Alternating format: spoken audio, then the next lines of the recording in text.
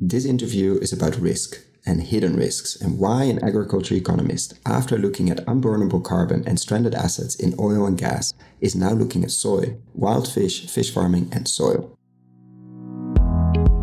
Welcome to another episode of Investing in Regenerative Agriculture, investing as if the planet mattered. Podcast show where I talk to the pioneers in the regenerative food and agriculture space to learn more on how to put our money to work to regenerate soil, people, local communities, and ecosystems while making an appropriate and fair return. Why my focus on soil and regeneration? Because so many of the pressing issues we face today have their roots in how we treat our land, grow our food, and what we eat. And it's time that we, as investors, big and small, and consumers, start paying much more attention to the dirt slash soil underneath our feet. Before we get started, I've been recording these interviews next to my day job, and I will definitely continue to do so and release about an episode a month. But at the same time, I would love to take this further, share more interviews. There are many more stories to share on investing in regenerative food and agriculture. More depth, improve the quality, maybe even doing some video series. So I started a Patreon community, which makes it easy to support creators like myself. If these podcasts have been of value to you, and if you have the means, I invite you to support me and make this happen. For more information, please find the link to my Patreon account in the description below. And now, without further ado, the interview. Enjoy! So, welcome to another interview. Today I'm joined by Matt McLuckie, Head of Research, and Mark Campanale, Founder and Director of Planet Tracker. Planet Tracker's focus is on the global industry sectors defined by significant investment flows and revenues in the context of planetary boundaries that are most threatened. This includes regional and global industry sectors such as agribusiness, plastics, and textiles. Welcome, Matt and Mark. Thank you. Thank you. And to start with, a personal question I always like to ask to both of you actually what led you into being part of Planet Tracker, finding Planet Tracker, and working on these extremely large land use and also sea use actually industries? So, from my point of view, I trained as an agricultural economist um, about 30, 32, 33 years ago. And I did my master's thesis on environmental cost accounting techniques. Quite, quite dry. But what I was trying to work out is if you factored in natural capital into the way you did project evaluation as an investor, how would it ret- how would it change the return on investment? And could you reduce the inputs, like chemical inputs? In favor of natural inputs by valuing nature better. I never thought I'd find a way of using that degree, that master's degree, but um, I ended up going into the city, into finance. And what I realized is that financial markets are very sophisticated, uh, whether equity markets or debt markets, but they're not actually that good at understanding planetary limits. So there's no real pricing mechanism for air, for uh, water quality, for uh, for even the land upon which we depend for food production. Um, and so there's no real proper value of that. So it struck me that we've got to work out the tools um, to think about this. And there's a lot of academic work around natural capital. There's some fantastic work done by people like Pavan Sukhdev on, on natural capital, and, and the UN and others talk about it, and economists talk about it but it isn't really properly understood through the lens of financial markets. So I set up Planet Tracker with my good friend uh, Nick Robins, who's a professor of uh, sustainable finance at the London School of Economics. And um, Nick and I set it up really just to try and address this. So, uh, what it means simply is that we look at, uh, we try and look at all the fisheries and seafood companies that are listed on stock exchanges around the world and we try and look at, say, water businesses and forestry businesses and food and agricultural production businesses. Um, and how do markets value uh, those companies and do they incorporate planetary boundaries and do they understand the value of natural capital and, and what are the what are the constraints um, in the future and what would this mean for business models so that was the that was the reason why I set up Planet, Planet Tracker and I was delighted that uh, we've been supported by some terrific foundations um, and that allowed me to meet what are now great colleagues like like Matt and Robin and the rest of the team um, that form the heart of Planet Tracker.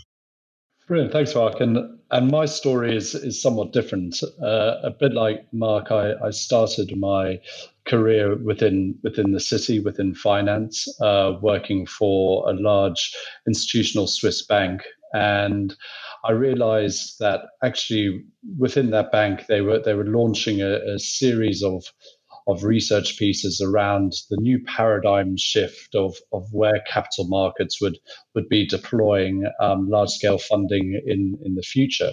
And this was in around 2005. And those themes really, uh, they resonated with, with my personal um, feelings about, about the environment and about the planet and, and looking at the sustainability of water, sustainability of agriculture systems, the sustainability of, of food systems and, and consumer trends. And, and really, whilst the research was, was extremely compelling, uh, there was very little financial product available in the marketplace to actually um, enable investors to support the, the, the sustainability trends or, or these mega trends. And I actually spent 10 years um, managing conservation finance funds uh, and setting up conservation finance funds, mainly in Africa and, and also in Europe.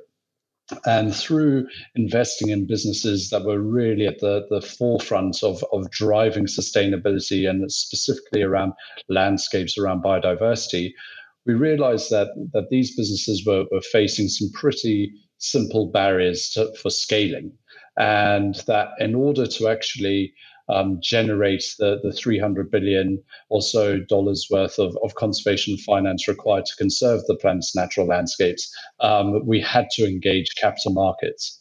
And so, with that, with that sort of view, I, I came back to into the city um, to join Planet Tracker to really look at how we can le- leverage capital markets in terms of uh, asset managers and asset owners. So we're looking at pension funds, we're looking at large scale um, insurance based uh, investors, we're looking at the asset managers um, as, as custodians of that money and in their investment decision making, and, and looking at how they engage companies and can support companies to operate more sustainably.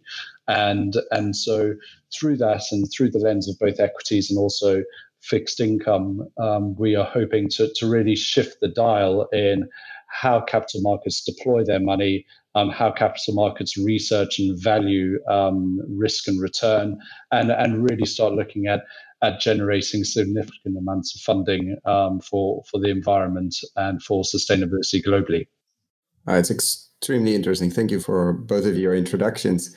And as in the podcast, we mostly look at, I would say, the positive side or the potential of agriculture and land use and sea use and the restoration of soils, etc. But I think the risk side of things and the current degeneration of most of natural capital is something we don't discuss often enough. So, what is something that I mean? You've been you've been around for not very long, actually. I think a year or two. The first report was actually published in, in about three years ago, two and a half years ago. Oh, wow! Um, and that was Fish Tracker.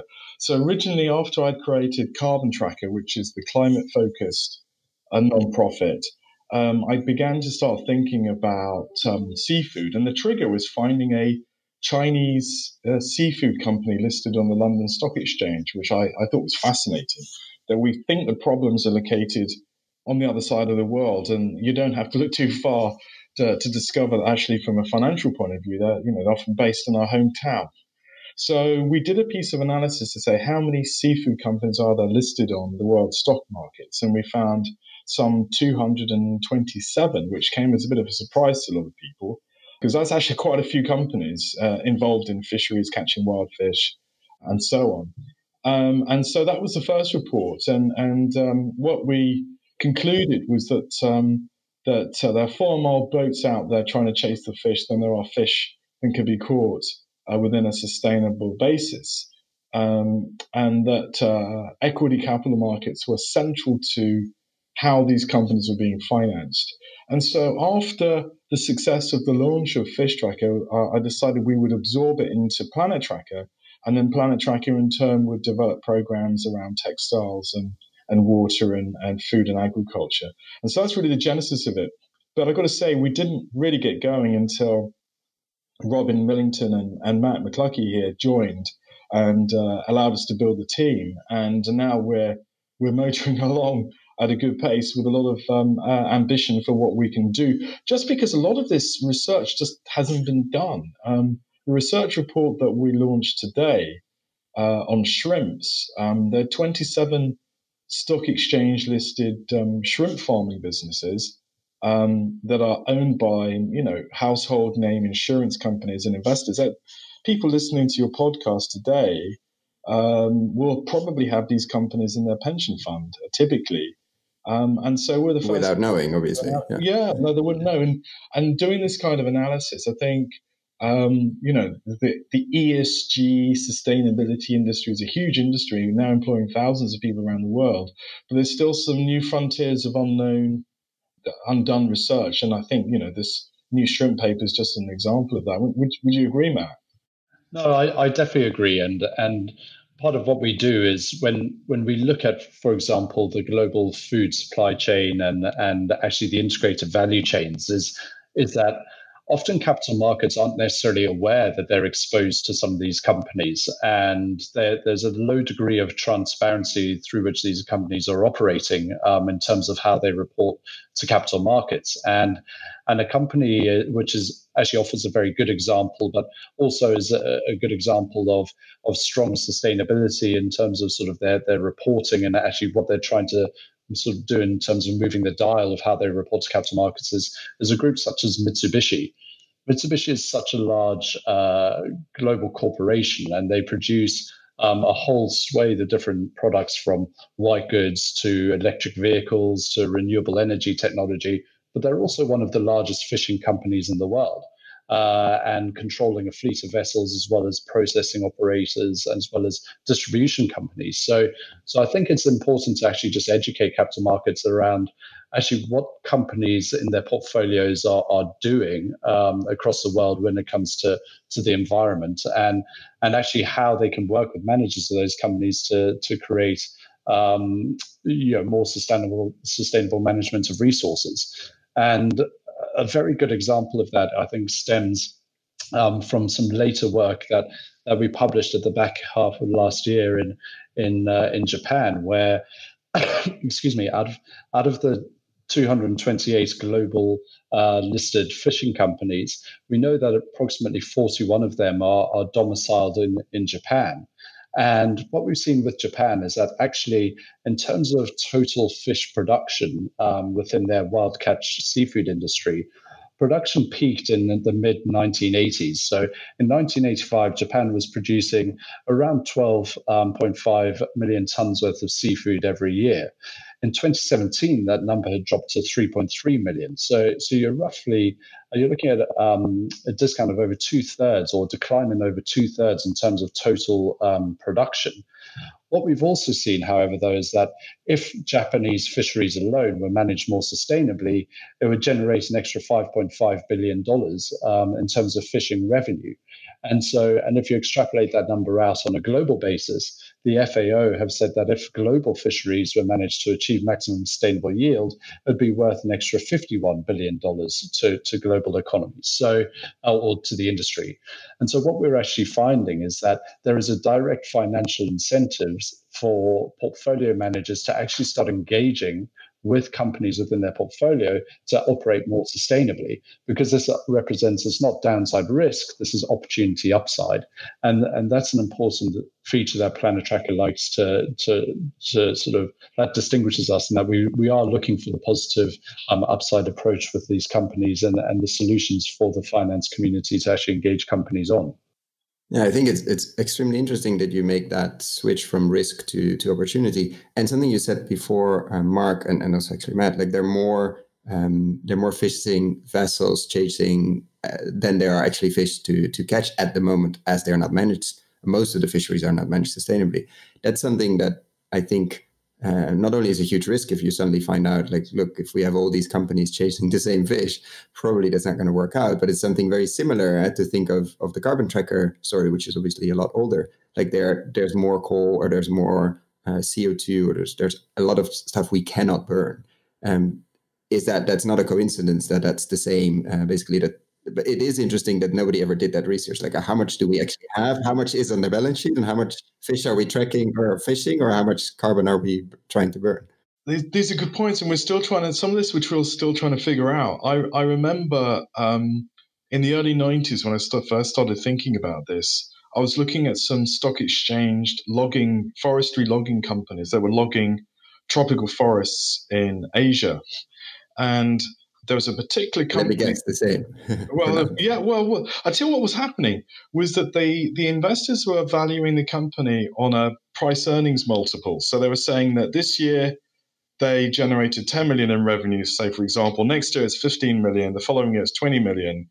And they were valuing it on a price earnings multiple, sort of giving the indication that actually the best way to come up with the value of the company is to sort of say these these cash flows are growing, um, and uh, it will continue to grow in the future. So it's got to be a really valuable company. Now, what what they didn't know, and this was where the interesting thing came in, is that the logging company was taking a quarter of the commercial trees out of the forest each year. So after year four, there were no more commercial logs. The forest was trashed. And um, so you, you couldn't use a PE price earnings multiple. So this analyst came out with a report and said, well, actually, this is all a an illusion of number work that you've got to evaluate it on a on a sort of depletion play where you're sort of saying, okay, each year you're removing 25% of the value each year. And at the end of year four, there are no more revenues. Um, so they put this, this analyst, I remember she put this sell side out note out with a new valuation that essentially said instead of the stock price being $20, it's going to be six. And pandemonium broke loose because the investors suddenly realized that after year four, this particular business was going to have no more revenues from logging forests because they'd logged out the forest. And it very neatly told a story that markets discount future cash flows, but they're unable properly to price scarcity uh, of natural resources. And um, and we use the wrong methodologies. So if you look at, say, seafood, uh, investors assume you, we, you, we hear this phrase: "There's plenty more fish in the sea." Our, our grandmothers were using that phrase. Well, I'm afraid, folks, that's no longer true. There aren't plenty more fish in the sea because we've been taking a lot of it out. Um, and investors have this strange assumption that you take one fish, there's going to be plenty more there next year. And if you build one boat to catch fish, uh, if you build 10 boats, you can catch 10 times as much fish uh, without realizing that you hit these, these boundaries. And, and really, the heart of Planet Tracker and its research and its approach is really to sort of say, well, look, you know, we can't run the world thinking along these lines. Markets have to change. Uh, investment analytics have to change. How we model risk has to change. Um, and ultimately, consumers and investors and, and the companies themselves have to rethink this. And, and we've got to stop this plundering of the oceans and plundering of the atmosphere. And investors, normally quite conservative people, um, and if we put in, if we measured risk better and we put in place better practices, then a lot of this, a lot of these problems are not going to go away. I think we would find better ways of dealing with the sustainability challenge. I really like the the switch to you. they're not modeling, or we are as as a species not modeling in scarcity, and we sort of saw the forest. Now, hopefully, that changed, but saw the forest as an endless amount of trees, and well, see yeah. still the sea as an endless amount of fish because we don't really see how many are actually down there. Probably we get really really scared. I mean, what you did the modeling, yeah, like how much of decline we actually already hit, and we just put more boats and more boats and more boats. Yeah, exactly, exactly, and and uh, and what we found um, um, in the meetings that we've done with different investment firms, and we've met with some large pension funds, and we've met with a number of investment managers, is a lot of people are getting this. I think um, there has been a change in thinking in the last five, ten years. A lot more analysts, a lot more investors are getting it. I think it's true, particularly of Europe, particularly of um, the Scandinavian uh, countries and, and say the Netherlands. I would I wouldn't say it was it was uh, especially well known in Asia or perhaps North America, but it's growing awareness in Europe and and um, the good thing about the internet and communications is we can begin to distribute this research uh, further afield, and where we can, we try and publish in local languages to allow uh, pickup of the analysis. And and we see, you know, this is a um, this educational thing is going to take some time. But we've got some things, we've got some tools that work in our favor. So one of the things that does interest us is is can we get stock exchanges to require uh, better disclosures by listed companies. So if you if you want to raise money to log a forest or to um, to, to build boats to go fishing, do you properly disclose the sustainability profiles of the fisheries you operate in or the forests you log in? And can you present sustainable forestry management plans or resource management plans. And And uh, there's a role there for good regulation and good disclosure and, and a good accounting system. And I, I, also added to that one of the the key tools that we're seeing huge leaps and bounds in is the availability of high quality environmental data and the translation of that data into metrics that, that capital markets can actually use. And there's some incredible companies such as Planet Labs, who are a satellite data provider, who now we can start looking at soil profiling at a very granular level. We can start looking at um, water at a very granular level and start determining how, when you've got agricultural companies that rely on soil productivity, when you've got brewery companies that rely on the availability of, of, of clean water, um, we can actually start start modeling and pricing um, in the short to medium term actually how the availability of that natural capital is is trending and start working with companies to ensure that they can ensure that they can maintain the sustainability of, of those resources and so I think capital markets are they've they've got more tools at the disposal than they've ever had to be able to look at valuations in a new way.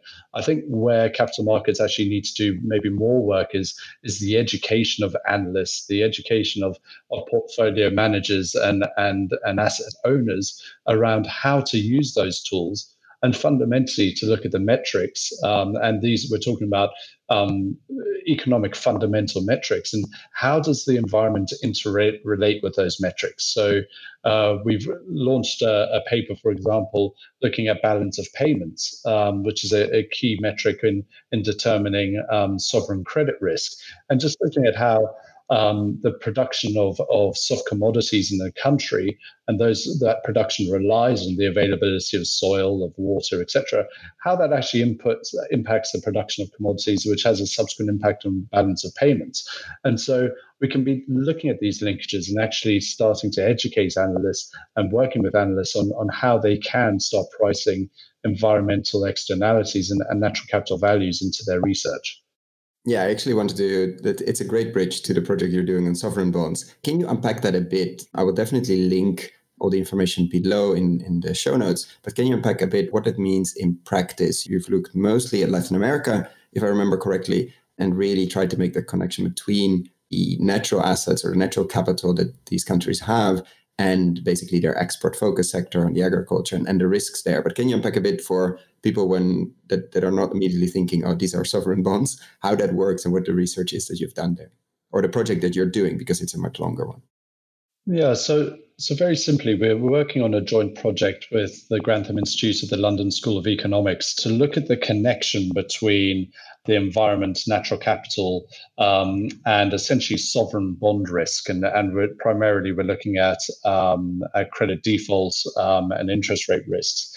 And uh, using funding provided by the Gordon Betty Moore Foundation through, through the Finance Hub, we focused our initial research on uh, Brazil and Argentina. And let me just um, highlight the case of Argentina here. Is Argentina, as we know, um, macroeconomically has has had a rather tempestuous recent history.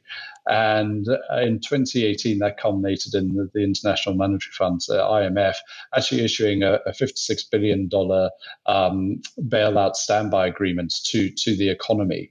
So, in, in essence, if you factor in also sovereign bond investors into Argentina, and, and there's been um, a, a, actually there's been a, a, huge impact on, on sovereign bond yields just um, through the economy over the past six months. Argentina effectively owes um, a considerable amount of US dollars both to the IMF but also to sovereign bond investors. Now, when we look at um, what generates uh, essentially net income for the economy of Argentina, um, 70% of Argentina's exports rely on natural capital in their production. It's very much 70, right? Seven zero. Seven zero. So, and if we if we look across the G20, so Brazil, Argentina, and Indonesia are the top three countries that rely on natural capital export based exports to generate economic growth. And so, with the case of Argentina, it's, it's very much an agricultural based economy. And two of the, the main agricultural products are um, soybeans and livestock. And what we've seen is that actually there's been a huge amount of deforestation of, of the Cerrado and of um, forested areas to create landscapes for the production of soy and the production of livestock. And the soy is very important for the economy because it gets um, exported in not only raw form, but also gets processed into, for example, biodiesel. And 60% of Europe's um, biodiesel is actually originated from, from Argentina if we're looking at soy based biodiesel. And so what we've seen with Argentina is that they've got this big um, US dollar uh, deficit or liability sitting on the on the national balance sheet. They've got a low US dollar um, level of treasury reserves, and so therefore they rely on generating positive US dollar based balance of payments to actually service those liabilities. Now, if we go to the droughts which Argentina had in 2018, we know that, that those droughts had a significant impact on the production of soybeans. And if you look at actually the cost to that, which has been cited by credit rating agencies, is that generally we, they account for about $14 billion worth of lost balance of payments receipts coming into the economy. Now, Argentina defaulted on an $8 billion payment to the IMF, resulting in um, or triggering another release of standby agreement funding. So, if that drought hadn't taken place, or if the sector had been more resilient, then actually you could argue that that standby agreement um, trigger would not have, have taken place.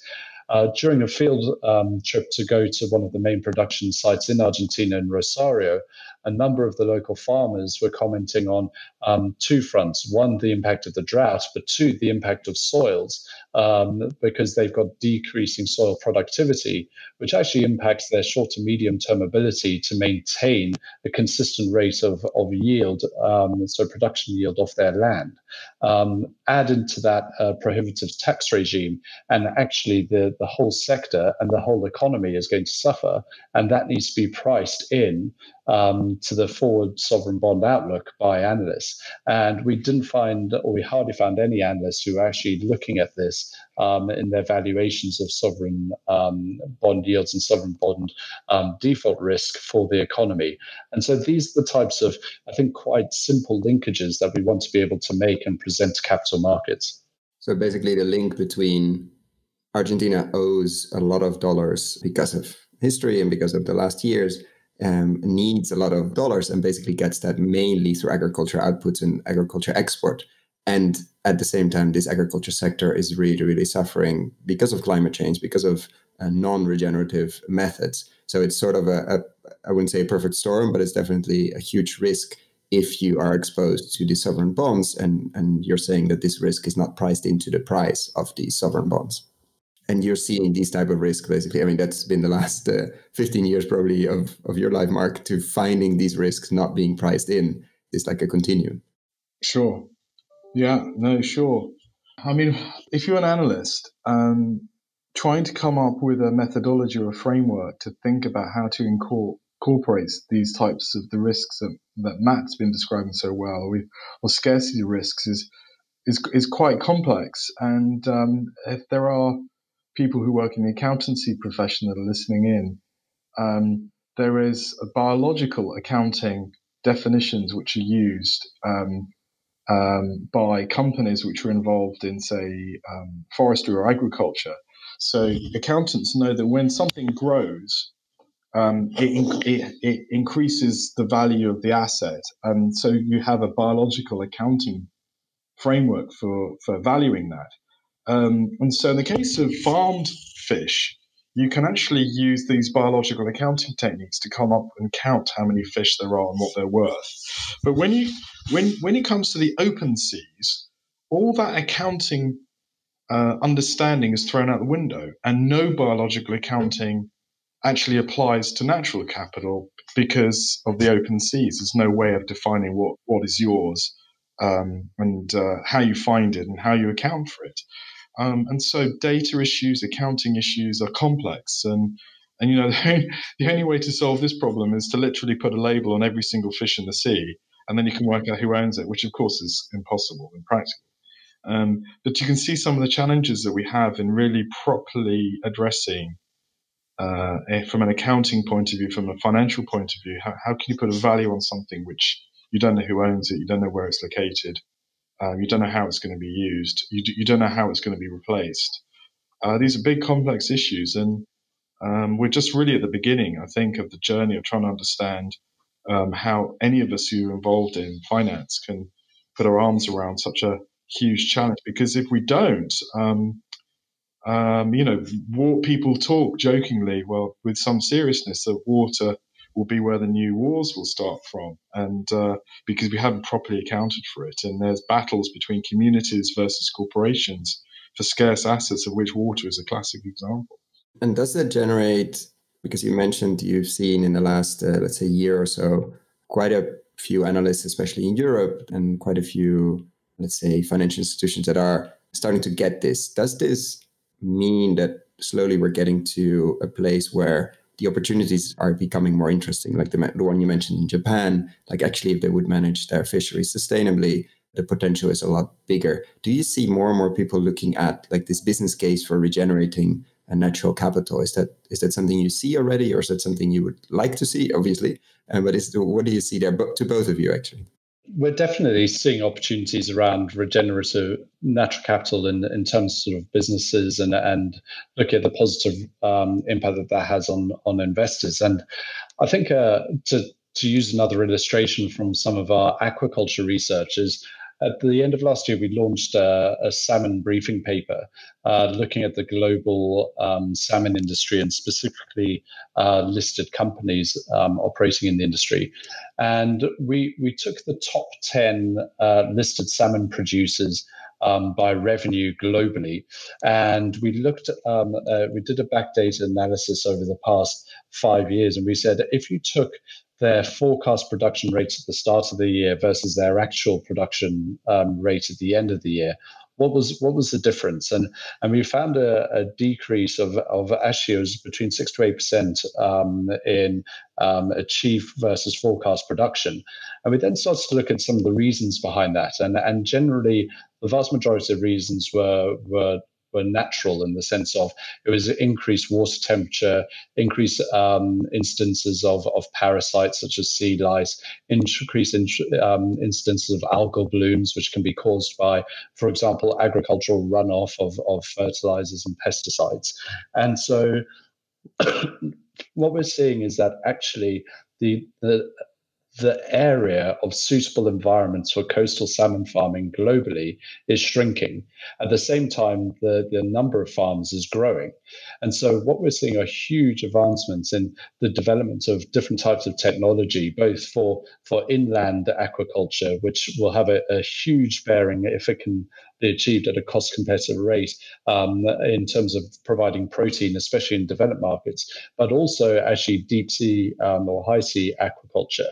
Now, what the capital markets need to recognize is that there is a big growth opportunity there, but the pricing and the financing of of these um, of these opportunities needs to change because at current salmon prices, offshore aquaculture is completely unviable um, commercially, uh, as is inland aquaculture. So fundamentally, prices will need to increase, uh, and so this then means that companies um, have to be able to generate more margin, but it can't be growth at all costs we need to be looking at actually increasing the fundamental um, price of these commodities to ensure that companies are motivated and incentivized to operate more sustainably. And at the moment, history tells us that operating more sustainably can cost more money, but actually, in the medium to long term, um, those costs are recovered very quickly, and and ultimately you end up with a more robust, more sustainable, more profitable business. So, so I think we are seeing really interesting opportunities available in different sectors. That's great to hear. I think a lot of people on the call would either argue that they are working on that, maybe not yet to the level of a, a publicly listed company, but hopefully in a few years. And let's say the investors on the call would probably be interested to see how to put money to work there. So I want to be conscious of your time and ask a few final questions. And one is to actually to both of you. Um, if you could wave a magic wand and tomorrow morning we wake up and either you, Mark, or you, Matt, have changed something in um, if you've changed one thing in the agriculture industry from a sustainability point of view, what would that be? Let's say the land use industry. Let's take it a bit broader than just ag. What would you both change overnight if you had the had the power? Oh, that's such an easy question. Come on, Matt, you can do that one first. My number one issue is, I believe, soil. Uh, and how do we build agricultural and livestock systems that manage to maintain the integrity of soil? Uh, because soil is provides the, the platform for all agricultural growth. And and there's some excellent groups such as Soil Capital based in in London who are doing amazing work around looking at different forms of regenerative agriculture um, and looking at soil health. And and soil health is fundamental to feeding the planet. So in the agriculture space I, that that one's quite straightforward for me. And what about you mark yeah i i'm going to take a different angle um I do think it's possible that not that market mechanisms are panacea and solve all the problems. They, they, they don't. But I do think that we could build the case, a bit similar to the task force on climate related financial disclosures that was set up, that financial regulators, and I'm thinking particularly um, stock exchange regulators and regulators governing the issuance of bonds and equities, can f- encourage any company involved in managing natural capital uh, to submit proper full and complete natural capital um, models, uh, analysis, uh, resource management plans, impact assessments as part of a uh, of a, a prospectus before investors invest. So you can't just say, "Oh, we're raising some money to log this forest," until you genuinely put what the resource management plan is. Um, I don't like logging forests at all, but or, or, or, even open seas fishery to the extent that it's as damaging that it is. I think that regulators could say, look, if you're going to do this, you've got to give a proper account for how you will leave the environment, uh, the open seas, land in the same condition as you found it, without depleting natural capital, without spoiling what nature has given us. Um, and you've got to set out how you do that. And and I think that there's a very strong rationale for that, which regulators would understand, and investors ultimately would understand. It's only part of this part of the of the way to answering the challenges we face, but I think it's an important step. I, I completely agree. And I want to thank you both so much for your time this morning. And uh, I will definitely be checking in, sharing the reports that are already out there. And when new ones come out, we'll be sharing that uh, with the community. Well, thank you very much. And please would any any, any uh, listeners have a look at uh, the planet-tracker.org website and follow us on Twitter and do sign up. Do please sign up to our research newsletters, which are of course free to readers. And we look forward to exchanging information with your listeners in the future. Thank you very much. Thank you so much. Thank you. Bye bye. If you found the Investing in Regenerative Agriculture and Food podcast valuable, there are a few simple ways you can use to support it. Number one, rate and review the podcast on your podcast app. That's the best way for other listeners to find the podcast, and it only takes a few seconds. Number two, share this podcast on social media or email it to your friends and colleagues. Number three, if this podcast has been of value to you and if you have the means, please join my Patreon community to help grow this platform and allow me to take it further. You can find all the details on patreon.com slash regenerative agriculture or in the description below. Thank you so much and see you at the next podcast.